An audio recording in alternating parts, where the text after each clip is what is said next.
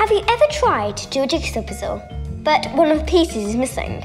Well, the financial crisis and all the trouble since then is a bit like that. No matter how many economists are working on the problem, they'll never solve it because they're missing the most important piece of the puzzle. That missing piece is money. Our guest today is the chairman of a major financial institution. Money, money, money. You either have it or you spend all of your time trying to get it. But where does it actually come from in the first place? I'm afraid that's the wrong answer. Let's start at the beginning. Every banknote has the Bank of England printed on it, but the Bank of England only creates 3% of all the money in the UK.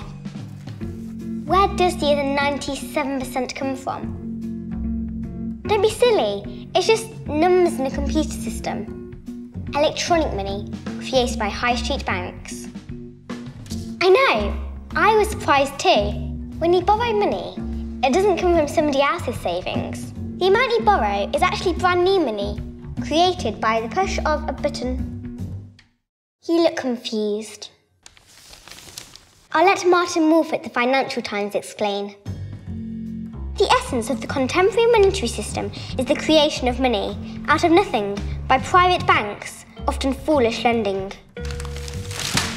See, we need money for everything we do, but the only way we can get it in the first place is to borrow it from the banks. That's why the government wants to get banks lending again, to get them to create even more money. But the whole problem is, is there's too much debt, so how can the answer be for us to borrow even more? Exactly, it can't. As long as banks create money by lending it to us, we'll always be in debt. Why should the same banks that caused the financial crisis be allowed to decide how much money there is and where it goes? I wasn't allowed telly for a week after I broke that plate. Dinner's ready. Coming, Mummy.